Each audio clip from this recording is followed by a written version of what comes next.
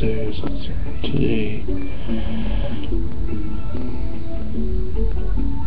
You know, I'm not really sure what's today might happen if I go to any store today. And also, it's, uh,